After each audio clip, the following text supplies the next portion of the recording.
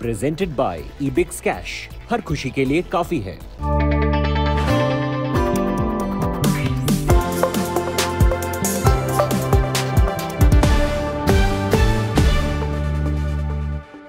Hello and welcome. You're with us here on Business Today. I'm Abha Bakaya. Here are the headlines tonight. Sensex snaps two-day losing run, jumps over 850 points as market rebounds. Nifty back above 17,150. Auto financials metals shine.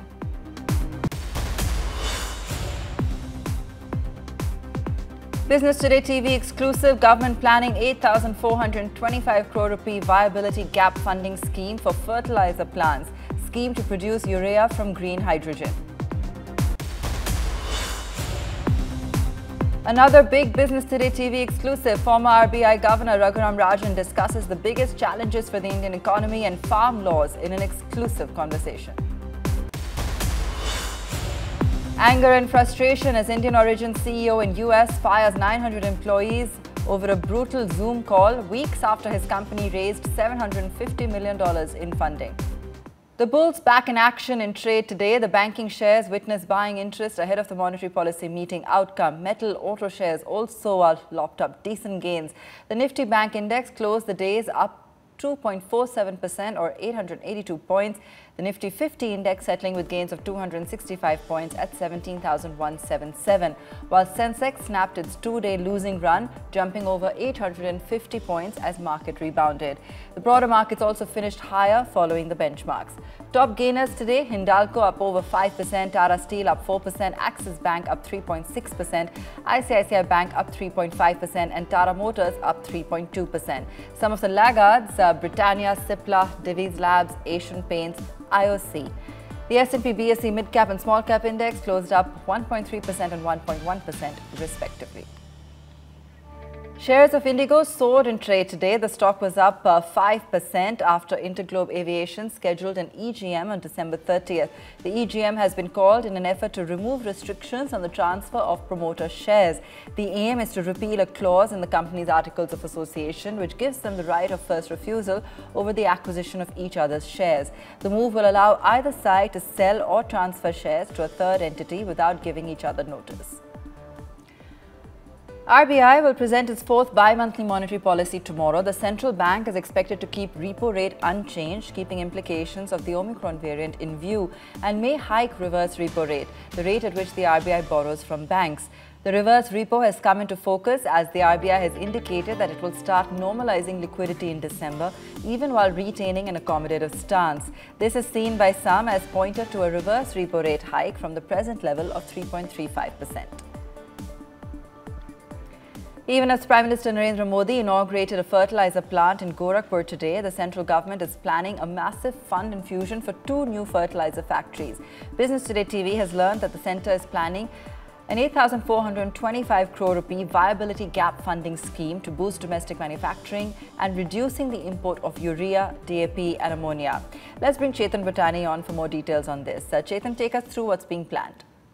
You know, well, Abha, to reduce India's import bill, uh, the government of India is planning a 8,425 crore viability gap funding scheme for import substitution of fertilizers that is on the cards currently. Uh, my sources are telling me that the government's draft national, national hydrogen mission has proposed uh, to cover two green urea plants of about 1.3 million metric ton per annum's capacity for fertilizer production from green hydrogen. Remember, green hydrogen is hydrogen produced from renewable energy sources. In fact, in the initial stages, the government will uh, support the cost difference between uh, the domestically made green hydrogen uh, based fertilizers and benchmark price of imported fertilizers through the viability gap funding. In fact, in 2019, you remember in India imported about 10 uh, million metric tons of urea, 5 million metric tons of uh, DAP, and 3 uh, metric tons of ammonia worth about $6 billion.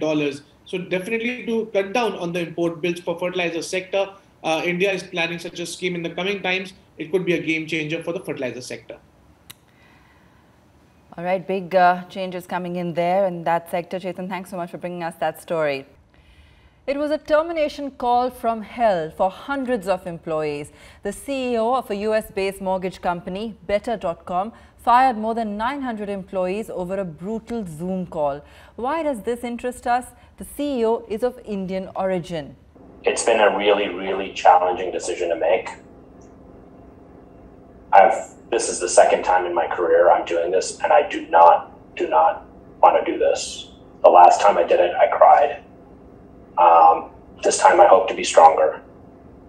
But we are laying off about 15% of the company. The webinar lasted just three minutes, but by the end of those 180 seconds, 900 persons had lost their jobs. Employees of home loan provider Better.com across the US and India had been fired by the company's CEO Vishal Garg. His argument the fired employees were so lazy that they effectively stole customers from the company. The terminations, which amount to 15% of the company's workforce, comes just ahead of the Christmas holidays, usually a time of good cheer in the US. If you're on this call, you are part of the unlucky group being laid off. Your employment here is terminated effective immediately. Interestingly, Vishal Garg is a controversial figure, having been involved in altercations with his ex partner, who he threatened he would staple against a wall and burn alive. He had been accused by his partner of manipulating financial documents and creating multiple shell companies. This comes at a time when Indians across the world have been basking in the glow of Parag Agrawal being appointed the CEO of Twitter, of the fact that Indians are ruling tech boardrooms worldwide. Thank you for each and every one of your individual contributions to Better. People online have been sharing this video on social media platforms, with many slamming the founder CEO of Better.com for his actions. Interestingly, the SoftBank backed mortgage lender announced in May it was going public and last week received $750 million in cash as part of the deal. The company is now valued at $7.7 billion, making it ironic that the cash rich company had to fire so many of its employees. Bureau Report, Business Today Television. Let's also go across to brand expert Harish Bijur now joining us uh, to discuss uh, some of the implications, the uh, fallout of this uh, massive firing. Harish, thanks so much for being with us. On one hand, you have the Indian community high on the successes of the likes of Parag Agrawal. On the other hand, you have this CEO from hell. How does this affect the image of the Indian global CEO?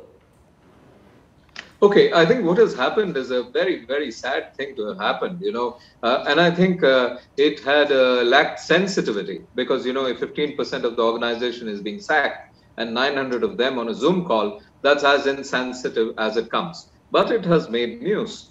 Uh, the point I'd like to make is that if we tend to own a person of Indian origin to be a CEO who's a success out there in the United States of America, the latest example was the Twitter CEO um, I think we should own even um, you you know negatives. So I think it's sad, uh, but at the end of the day, I don't think um, you you know a CEO has a nationality.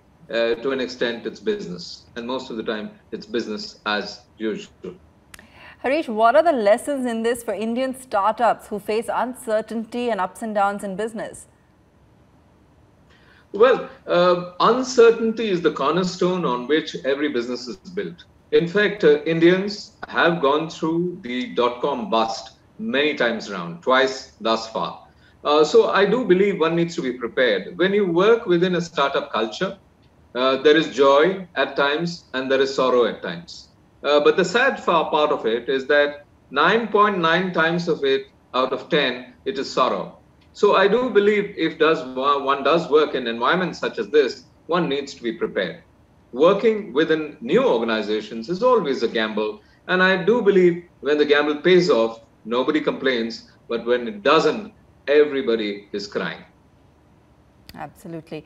Harish, thanks so much for joining us and taking us through your perspective on uh, one of the big headlines in the business world this evening. Yet another SUV in the market with Volkswagen launching the all-new Tiguan. The SUV, powered by a 2-litre petrol engine with a power output of 190 HP, has been priced at 32 lakh rupees. It'll be available next month. Interestingly, there are not too many cars or SUVs in this range, with most available options either much cheaper or more expensive. The only other vehicle the Tiguan is in direct competition with is the Citroën Aircross C5. However, there is a small overlap with the Hyundai Tucson and the MG Gloster as well. Listen in to the brand director at Volkswagen, Ashish Gupta, some of the key features of the new Tiguan. The Tiguan is a true Volkswagen in every manner. With an enviable performance and progressive design, the Tiguan makes an all-round impression. It is versatile and hosts a range of driver assist and infotainment systems on board, making this SUVW capable of handling every motoring situation with aplomb. It gives me immense pleasure to launch the refined, updated, comfortable, and connected exciting new Tiguan that is redefining what's possible.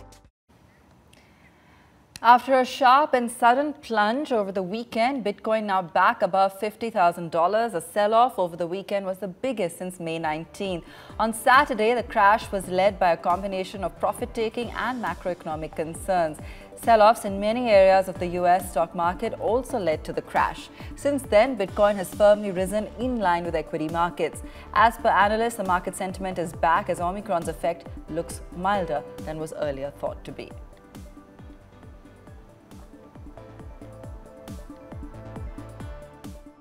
Former RBI Governor Raghuram Rajan discusses the biggest challenges for the Indian economy and farm laws in an exclusive conversation with Rajdeep Sardesai. Listen in. Is your sense that the worst is over? That, that perhaps uh, we will see a steady economic recovery, even allowing for these variants, assuming that they're not as deadly as the previous ones? I think, given that assumption, we are on the way out that that uh, you know we are learning to live with the, with, with the virus, uh, and we are learning how to manage our economies in this process. And of course, the amount of uh, pent up demand is going to take us still uh, a little further. Now, of course, uh, there's the other disease which we are facing, which is the excess. Uh, which results in inflation. Uh, you can see higher transportation costs are now showing their way into pr higher prices. You can see labor very tight in many industrial countries showing up in higher wages, higher inflation. And of course, inflation doesn't stay restricted to one part of the world, it spreads more widely. So the, the problem we are, we are seeing now is, uh, is perhaps excess demand relative to supply, which is resulting high, in higher inflation. Number of emerging markets, central banks have already started tightening. And so uh, what that does is constrain the amount of, uh, of space down the line. If you were Reserve Bank of India governor still, you'd be conscious of inflation. I would as, certainly, as, as your major challenge at the moment. I, I so I, I, think you, it's always tempered with what the growth situation is, right? Uh, you have to think about whether there's enough supply capacity in the economy so that you can survive this level of demand without inflation going through the roof. Uh, I think in India we are seeing a rebounding economy. Uh, the question that, uh, that the Reserve Bank will uh, have to address, of course, is is this rebound so strong that is it's exceeding our supply uh, capacity? The fact that inflation is still quite strong suggests that that question is not an irrelevant question. Uh, let's look at the Indian economy for a moment because uh, there's a general belief, at least India's economy managers say, we've come out of the pandemic or hopefully the tail end of the pandemic a little stronger than other countries. Last quarter, uh, a growth rate 8.4, before that 20%, suggesting they say a V-shaped re recovery. Do you see it as a V-shape or do you see it as you earlier told me, uh, India versus Bharat conflict, two countries in a way, one struggling to come out of the pandemic, the other moving ahead and seizing opportunity? Well, both can be true at the aggregate level. The, now, V-shaped is not anything to crow about. Create a bad enough downturn and the recovery will always be V-shaped. Uh, I think what is important is have we sort of come out of uh, the, the earlier malaise and are we going to reach back to our trend level of, of growth? Now, to some extent, we are back to where we were in 2019. a number of countries are there. So it's, we're not the only country that's back. But we also were a reasonably fast growing country, 5%, 6% was what we were growing. Now, we haven't done that over the last two years. So effectively, we, we've just made up the, the ground that we lost in going down, but we haven't made up the ground we lost because we were already growing at a fast pace. Sure. And that growth has to be made up still. And that will still take some time to make up. So before we start growing, we have to say, look, are we at a reasonable play, uh, place to grow further? And, and I think we are. We are. But we have to do a lot of things to try and get the growth that India truly deserves. Mm-hmm. Where we should be growing is 8 9%, right? Uh, that's what's necessary to create the jobs for all the young people coming out. You know, we had this population dividend. That population dividend becomes a dividend only if those young people can get jobs. So the question we should be asking ourselves is how do we multiply the number of jobs? And is it only through you know, some kind of focus on manufacturing? Or can we emphasize the areas of the economy which have always done well for us, services? Mm. You know, we've got a fantastic uh, IT sector which is benefiting from the global uh, boom. Today, it's very, very hard uh, to find people in the IT sector because, uh, you know, uh, that's where employment is.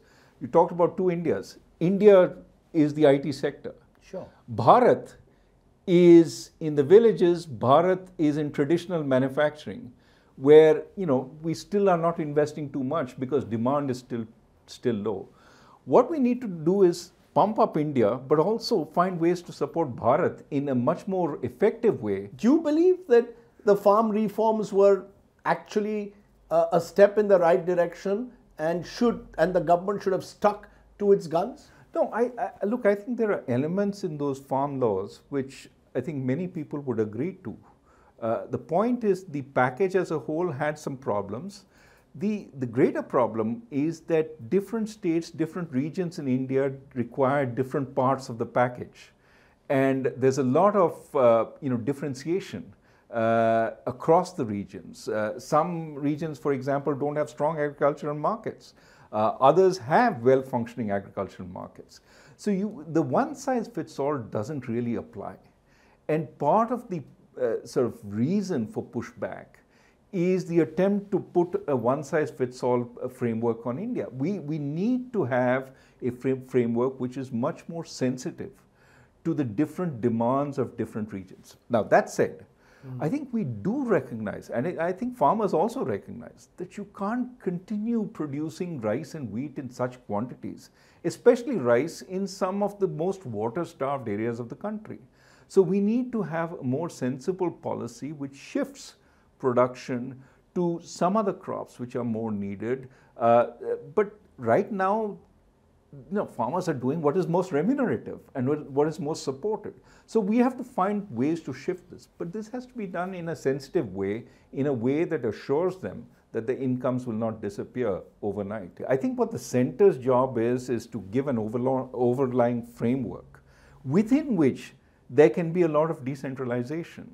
Uh, it's not the center's role to micromanage what happens everywhere and to say this will be uh, uh, the laws. The Reserve Bank of India governor, one of your successors, uh, has come up and said very clearly that he is he seems very very skeptical about cryptocurrency and worried about cryptocurrency. What's your sense? Well, I I think uh, the technologies behind cryptocurrency are certainly very interesting and will over time uh, sort of uh, be more widely used. For example, blockchain, uh, decentralized ledgers, which are really what blockchains are. Um, and um, you know, some of this uh, this new fintech um, trying to sort of gather information together uh, could solve some of the problems that we're talking about. So MSMEs, for example. What is the true value of cryptocurrency other than making payments?